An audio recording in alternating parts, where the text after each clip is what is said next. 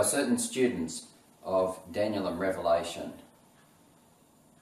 the USA has been considered that lamb-like beast, the second beast as stated in Revelation 13, which comes up from the vacancy of the earth, lamb-like demeanour but speaks as a dragon, and predicted to one day become a superpower that is a religious persecuting superpower. This has been predicted for over a hundred years.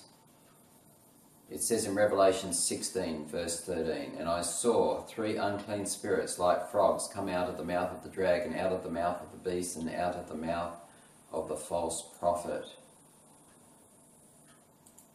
Why do you think it's the same policy for both parties? Why do you think they are no different from each other?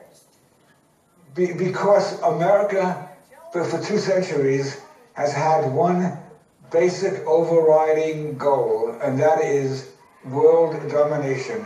A historic deal is close, but NATO's saying there will be no change in the missile shield plans. Why not?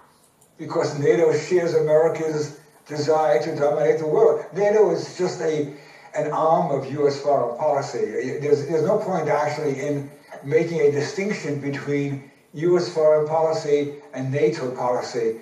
They are the same. If, if NATO, if, if the U.S. was not in NATO, NATO would not exist.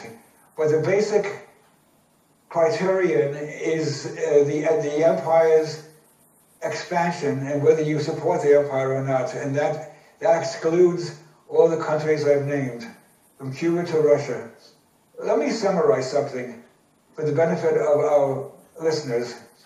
Since 1946, the United States has attempted to overthrow more than 50 foreign governments. In that same time period, it has attempted to assassinate more than 50 foreign leaders. It has attempted to, it has, it has bombed the people of 30 countries. It has suppressed revolutionary parties in at least 20 nations. And there's more to that. I forget the, my other factor on my list. This is a, a record unparalleled in all of human history. The man who was talking, William Blum, in early 2006, Blum briefly became the subject of widespread media attention when Osama bin Laden issued a public statement in which he quoted Blum and recommended that all Americans read Rogue State, a guide to the world's only superpower. Now, Blum is an American author, historian, critic of the US foreign policy. He worked in a computer related position in the United States Department of State in the mid 1960s, initially an anti communist with dreams of becoming a foreign service officer. He became disillusioned by the Vietnam War.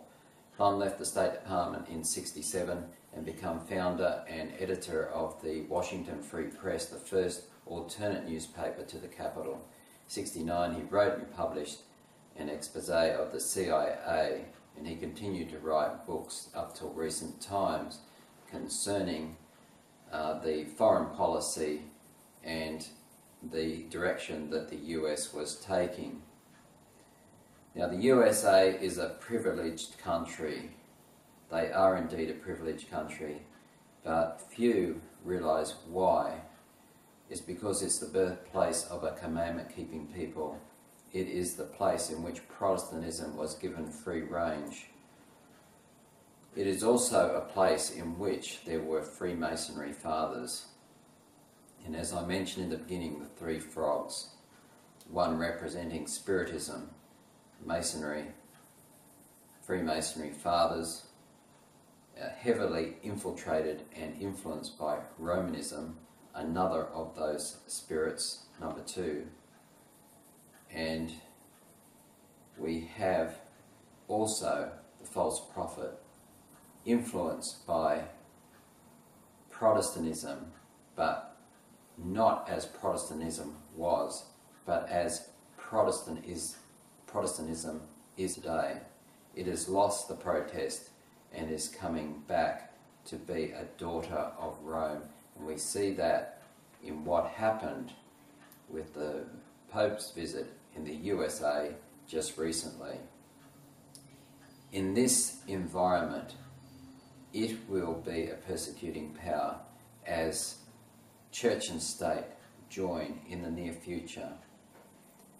And by these three powers, Spiritism, apostate Protestantism, and Romanism, they will usher in a false Messiah. And no one can buy and sell except they receive the mark of the beast. If you want to know more concerning this, click on Pictures at 13. These are prophecies that have been foretold for over a hundred years that are right on our doorstep. We need to know what's happening. So cleverly, it would seem that these influences on the United States in the background might not even be seen for what they are, which is stated in the prophecy concerning these three frogs.